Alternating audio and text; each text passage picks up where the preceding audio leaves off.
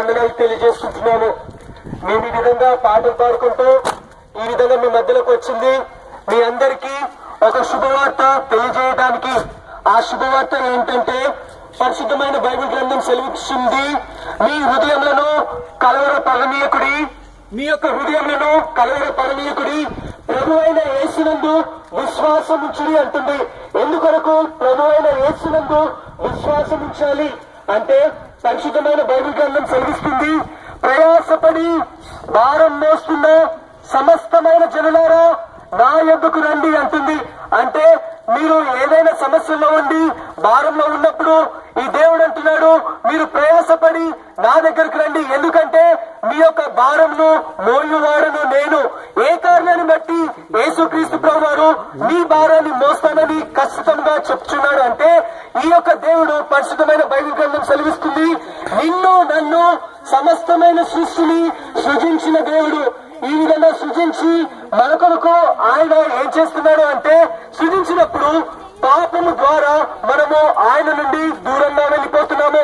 అందుకొరకే పరిశుద్ధమైన బైబిల్ గ్రంథం సెలవిస్తుంది పాపం వల్ల ప్రతి ఒక్క మనుషుడు మరణములకు చావుకు గురయ్యాడు ఈ యొక్క పాపంను బట్టి ఈ విధంగా నన్ను మరణానికి చావుకి అంటే ఇంకో మాటలు చెప్పాలంటే నరకానికి వెళ్తున్నప్పుడు సృష్టికర్త అయిన దేవుడు మనల్ని సృజించిన దేవుడు ఆయన చూస్తూ ఊరుకోలేదు కానీ ఏమంటున్నాడంటే బైబిల్ గ్రంథం సెలవిస్తుంది ఆయన యొక్క ప్రియ కుమారుణ్ణి ఈ లోకానికి పంపించాడు అంటే నిన్ను నన్ను ప్రేమించి పాపంలో నశించిపోవట ఇష్టం లేకుండా ఆయన ప్రియకుమారుడిని అంటే యేసుక్రీస్తు ప్రభువారిని ఈ లోకానికి పంపించాడు. ఎందుకొరకు? యేసుక్రీస్తు ప్రభువారు ఈ లోకానికి పంపించబడ్డాడు అంటే బైబిల్ గ్రంథం సెలవిస్తుంది పాపము వల్ల వచ్చు జీతము మరణము.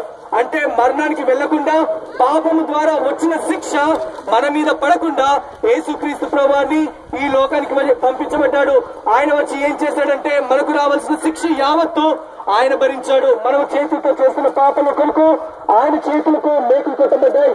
మన తా మన కాళ్ళతోటి మన తలంపులతో చేస్తున్న పాపానికి ఆయన కలువరి సిలువ ఎక్కిన వాడుగా ఉంటున్నాడు. అంటే పాపంను బట్టి మనకు రావాల్సిన యావత్తు శిక్ష ఆయన భరించాడు. అందుకొరకే బైబిల్ గ్రంథం అంటుంది ఇంకా యేసు క్రీస్తు ప్రభులో ఉన్న వారికి ఏ శిక్ష విధి లేదు. అంటే మరణం నుండి పాపం నుండి నరకం నుండి తప్పించబడాలి అంటే మీరు చేయవలసిందంతా ఒకటే. అంటే యేసుక్రీస్తు ప్రభుని మీ యొక్క నోటితో ఒప్పుకొని మీ యొక్క హృదయంలో మీరు విశ్వసించాలి.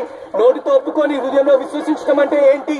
మనము పాపము చేస్తున్నామని మన హృదయంలో గ్రహించి ఈ యొక్క పాపం నుండి రక్షించువాడు ఏసుక్రీస్తు ప్రభువే అని మనం గ్రహించాలి. ఏ కారణాన్ని బట్టి?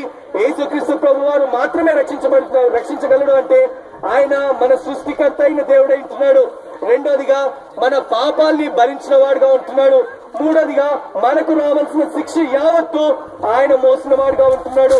ఈ యొక్క మాటను మీరు నమ్మినట్లయితే అందుకొరకే అంటున్నాడు పరిశుద్ధమైన బైబిల్ గ్రంథం కలిగిస్తుంది మీ యొక్క భారము నా పైన మోపండి. మీ కొరకు చింతిస్తున్న వాడును. నేనే మీరు పాపపు యొక్క భారంతో మీరు చింతిస్తున్నారా? లేదా కష్టాలలో శ్రమల్లో మీరు ఉంటున్నారా? ఈ యొక్క బాధలు నా కొరకు ఎందుకని అంటున్నారా? ఈ దినాన సృష్టికర్త అయిన దేవుడు మీ దగ్గరికి ఒక వర్తమానాన్ని పంపిస్తున్నాడు. అదేంటంటే మీరు దేని కొరకు చింతించుకుడు కానీ మీ యొక్క చింత యావత్తు నా మీద మోపండి. నేను మీ కొరకు చింతిస్తాను. మీరు చేయవలసిందంతా నా దగ్గరికి రండి.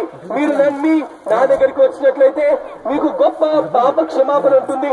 అందుకొరకే పరిచితమైన బైబిల్ గ్రంథం ఉంటుంది దేవుడు అంటున్నాడు నేనే మార్గమును నేనే సత్యమును నా ద్వారానే తప్ప తండ్రి దగ్గరికి ఎవరు కూడా చేరలేదు.